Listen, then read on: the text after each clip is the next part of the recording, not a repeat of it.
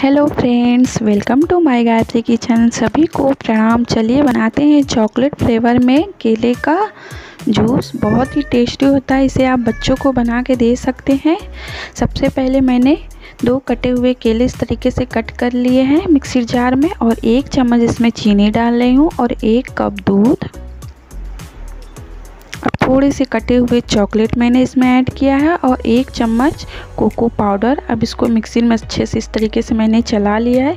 इस तरीके से मैंने कांच का ग्लास लिया है और चॉकलेट सिरप साइड साइड से लगा दिया है। अब मैं इसमें ऐड कर रही हूँ चॉकलेट बनाना मिल्क से ये देखिए। ऊपर से मैंने थोड़ा सा कोको पाउडर डाला है चॉकलेट फ्लेवर में।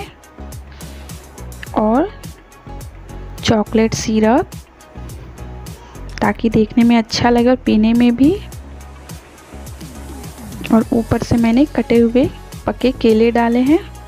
ये देखिए, चॉकलेट बनाना मिल्क शेक बन के तैयार है और बहुत ही अच्छा बहुत ही टेस्टी और फ़ायदेमंद है। आप इसे बच्चों को बना के दे सकते हैं और बच्चे भी पीकर खुश हो जाएँगे। तो इस तरीके से आप भी चॉकलेट मिल्क शेक बनाना बनाइए। और बच्चों को तो टेस्ट कराइए और मेरी वीडियो को ज़रूर से लाइक करिए और चैनल को सब्सक्राइब करिए। Thank you for watching